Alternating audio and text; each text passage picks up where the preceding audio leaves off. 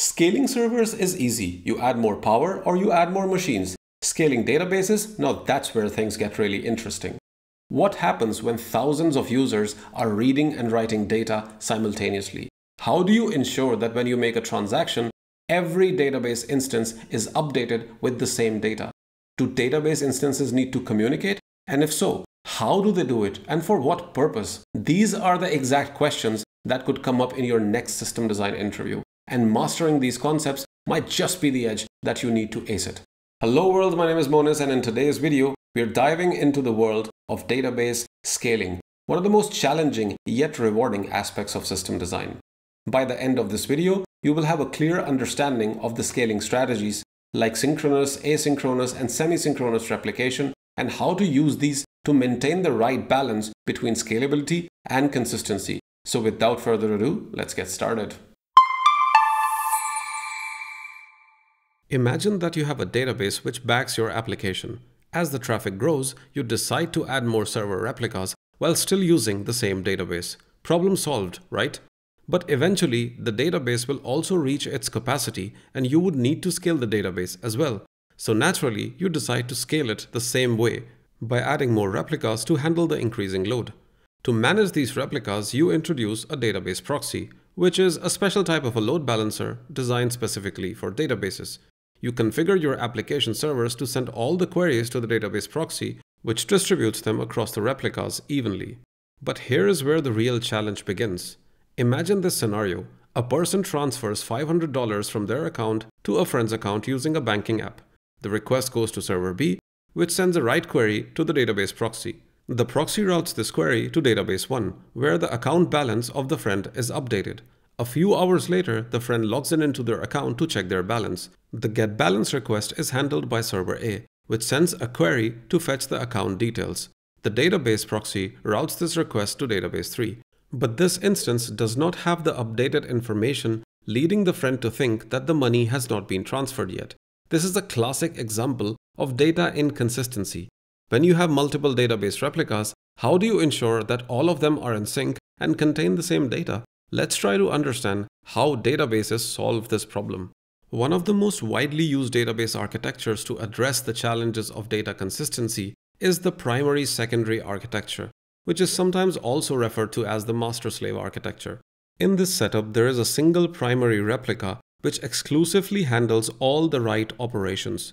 Alongside the primary, there are multiple secondary replicas where read operations are distributed.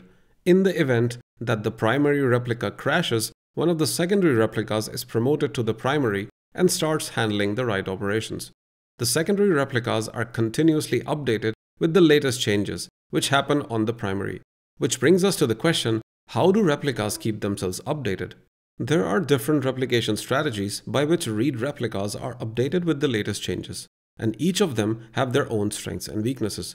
We will discuss them one by one, but first, let's understand how writes actually work in databases.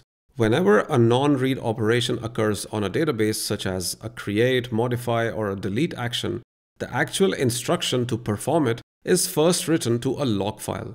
Think of this log as a record book, where every operation is documented in sequential order.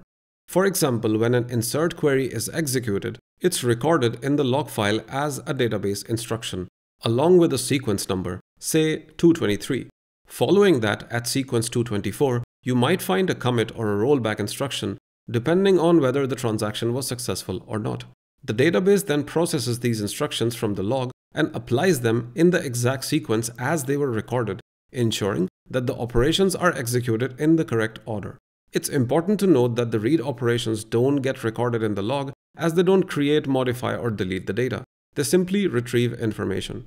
This concept of log forms the foundation of the different replication strategies that allow read replicas to keep themselves updated. So let's begin with the first replication strategy, asynchronous replication. In asynchronous replication, the write replica continuously pushes the log to the secondary replicas, which execute the recorded statements to stay updated. For example, let's say a write operation occurs at position 223 while the read replica currently has the log up to the position 222. The replica will pull any new entries beyond 222, in this case the single statement at 223, and execute it. This process ensures that the read replicas are eventually updated with the latest changes from the primary database. This might sound like a smooth and efficient way to synchronize replicas, but it comes with a critical drawback. Imagine that the primary database writes an insert statement and its corresponding commit instruction to the log, signaling that the transaction is successful. The user sees their operation as completed, but right before the read replicas can pull and process these updates, the primary database crashes. In this case, the secondary replicas have no record of the transaction because they hadn't pulled the new log entries. This means that while the user believes their transaction was successful, the data has actually been lost. This is a serious flaw in asynchronous replication. It prioritizes speed but sacrifices consistency in the event of a primary failure. So how do we solve this problem and ensure that the data is never lost even in the event of a primary crash? The answer lies in synchronous replication. In synchronous replication, when a transaction and its commit statement are written to the log, the primary does not mark the transaction as completed immediately. Instead, it waits for the secondary replicas until they receive the latest log. Once the commit is received by the replicas and stored durably on the local disk, the replicas send an acknowledgement back to the primary. Only after the primary receives the acknowledgement from all the replicas it signals the backend that the transaction was completed, and subsequently, the user sees the transaction as successful. But what happens if a replica fails to acknowledge? The primary will wait endlessly for the replicas to acknowledge. Although the transaction will have been written to the primary and other available replicas, it will keep on waiting on the replica which could not acknowledge. Once the replica comes back online, pulls the log and acknowledges, the primary's wait will be over and it will return success to the client. While this approach delivers the highest level of consistency, it comes at a cost, that is, write latency. Since the primary must wait for every replica to acknowledge the transaction, even a slight delay from one replica can slow down the entire process. This is why, for example, when you make an online payment or transfer money, you often see a loading bar for a few seconds. Applications like these prioritize consistency, even if it means sacrificing a little bit of speed, because inconsistency in financial data can be quite dangerous and have a legal impact. Now, not every system can afford this kind of a delay. In cases where speed is critical, but absolute consistency isn't always necessary, the slow write times of synchronous replication can become a little bit of an issue, so how can we achieve faster writes without completely giving up on the consistency? The answer is semi-synchronous replication. In semi-synchronous replication, the primary does not wait for all the replicas to acknowledge. Instead, if there are two replicas and one of them is unresponsive, while the other one returns an acknowledgement, the primary marks the transaction as successfully completed. This approach significantly reduces the chances of data loss compared to asynchronous replication. Because in the event that the primary goes down, there is always at least one replica with the latest changes. At the same time, it is much faster than synchronous replication since the primary doesn't have to wait for acknowledgement from all the replicas, making it especially beneficial when there are many read replicas. However, the trade-off is the possibility of temporary inconsistency. When the replica comes back online, it will pull the latest changes from the primary and eventually catch up. But during that brief window before it is updated, if a read query is sent to this replica, the users might see stale data.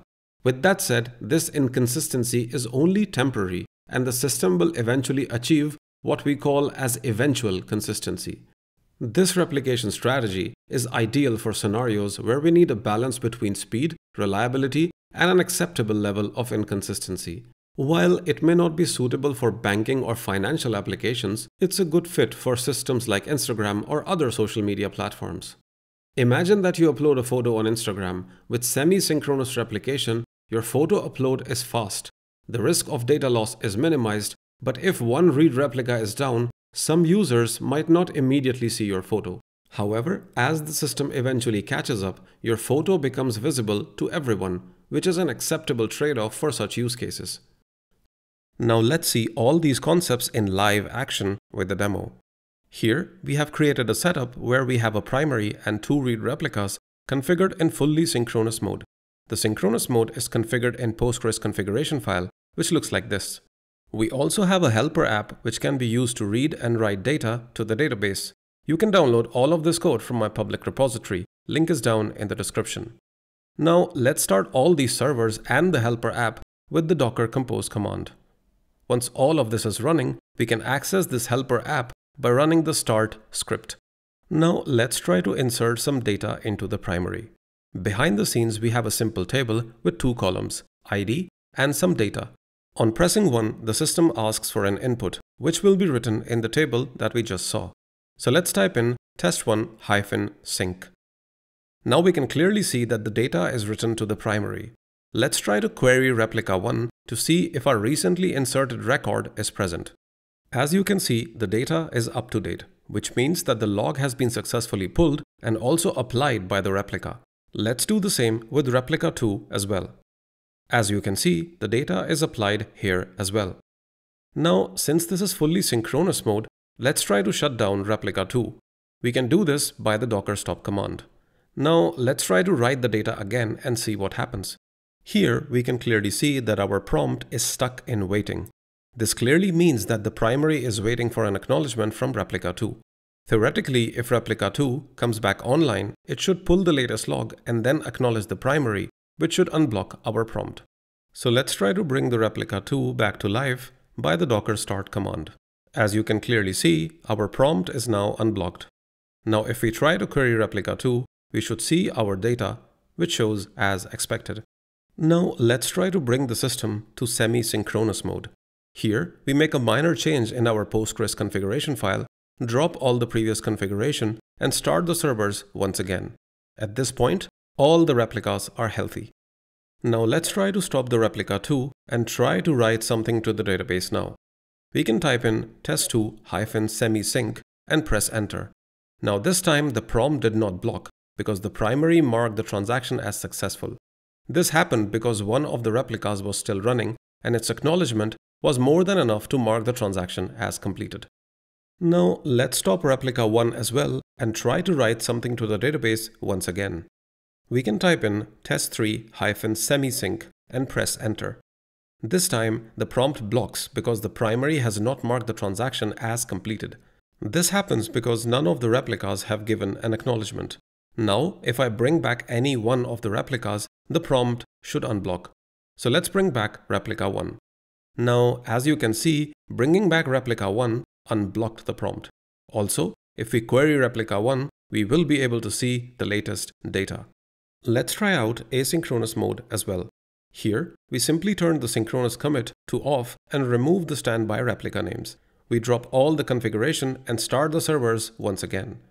At this point, all the replicas are healthy. If we write test4-async to the database and check it in our replicas, the data would be successfully pushed to the replicas. Now let's shut down both the replicas and write test5-async to the database. As you can see, the prompt is not blocked and the data is indeed written to the primary, while the replicas are offline, meaning replicas have no clue about this latest data that we just wrote. Now, at this point, if primary crashes and one of the replicas have to be promoted to primary, our latest data will be like it never existed. So, to summarize the three approaches, we have asynchronous replication, where the primary writes the data and doesn't care where the read replicas are updated or not. Speed is prioritized at the cost of consistency and a potential risk of data loss. Then we have synchronous replication, where the primary ensures that all read replicas are updated before committing the transaction. It sacrifices speed for immediate consistency, making it ideal for banking, payment, and financial applications where data integrity is crucial. And finally, semi-synchronous replication, which ensures that at least one replica is updated with the latest changes. It minimizes data loss and provides better speed than synchronous replication, but it may result in temporary inconsistency. This trade-off makes it suitable for applications like Instagram and X, where eventual consistency is acceptable. While these strategies work well for read-heavy applications, they rely on the primary to handle all the writing. But what happens when the number of write operations becomes too overwhelming for a single primary? The answer lies in a fascinating database scaling technique called sharding. But how does this technique work? What makes it so powerful? And why is it the go-to solution for handling massive write loads? That's exactly what we will explore in my next video. And trust me, you don't want to miss it. See you in the next video. Bis dann.